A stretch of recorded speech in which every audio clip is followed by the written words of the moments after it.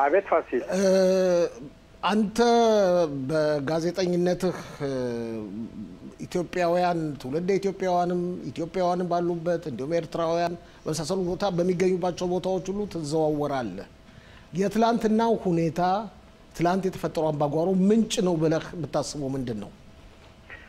እንግዲህ ፋሲል፣ እኔ እንደማስበው ትናንት የተፈጠረው አምባጓሮ መጀመሪያ አካባቢ ይሄ የመጀመሪያ ጊዜ አይደለም። እንደዚህ አይነት ጉዳይ አምባጓሮ የመጀመሪያ ጊዜ አይደለም። አንተም ባለፈው ጊዜም ተከታትለዋል። የመጀመሪያ ጊዜ አይደለም። ከአሁን በፊትም ባለሳሳት በሁለት ሶስት አካባቢ መሰለኝ ቲቤሪያ አካባቢም እንደዚህ አይነት ጉዳይ ልክ የኤምባሲው የኤርትራ ኤምባሲ እንደዚህ አይነት ዝግጅት አድርጎ አይነት ጉዳይ ተፈጥሮ ነበር። በሁለት ሺ አስራ ስምንት አካባቢ እንደዚሁ በድጋሚ ተፈጥሯል። እንደ ትናንትናው አይነት ግን በጣም ስር የሰደደና ከመጠን በላይ እንደዚህ የተስፋፋና ይህን ያህል ቫንዳሊዝም የተሰራበት እስቲ አንተ ታውቀዋለህ፣ አይቾ ህብረተሰቡን ታውቀዋለህ። ምንድን ነው እንደዚህ ጥላቻው እንደዚህ ደረጃ ላይ የተደረሰበት ምክንያት? እንግዲህ ይሄ ትልቁ ነገር አሁን እነሱን በእውነት ነው የምልህ ፋሲል፣ አብዛኛዎቹ ለምሳሌ አሁን ትናንት በነበረው ሁኔታ አብዛኛዎቹን አግኝቼ የሚያነጋገርኳቸውም አሉ፣ እንደዚህ በስልክ የሚያነጋገርኳቸውም አሉኝ።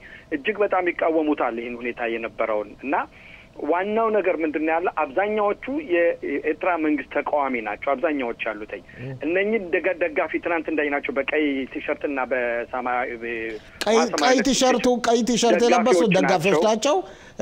ውሃ ሰማያዊ ደግሞ ተቃዋሚዎች ናቸው። ተቃዋሚ ናቸው እና ብዛታቸውን እንግዲህ በሰልፉም ያየነው ሁኔታ አለና እነኚህ ቀይ ቲሸርት ለባሾች እንደ ሰላይ ሰርገው የገቡ ናቸው እንጂ በትክክል የኤርትራ መንግስት የላካቸው ሰላዮች ናቸው ብሎ ነው የሚያምኑና እነሱ በአንጻሩ ደግሞ በአንጻሩ ደግሞ እነሱ የሚያቀርቡት ጥያቄ አለ አይቸው አንተ ውስጡን ስለምታውቅ ነው። እርግጠኛ ላትሆን ትችላለህ። እርግጥም እነሱ ደግሞ የሚሉት ነው በአንጻሩ በኤርትራውያን ስም የመጡት ተቃዋሚዎቹ በኤርትራውያን ስም የመጡት የቲፒኤልኤፍ አባላት ናቸውም ይላሉ።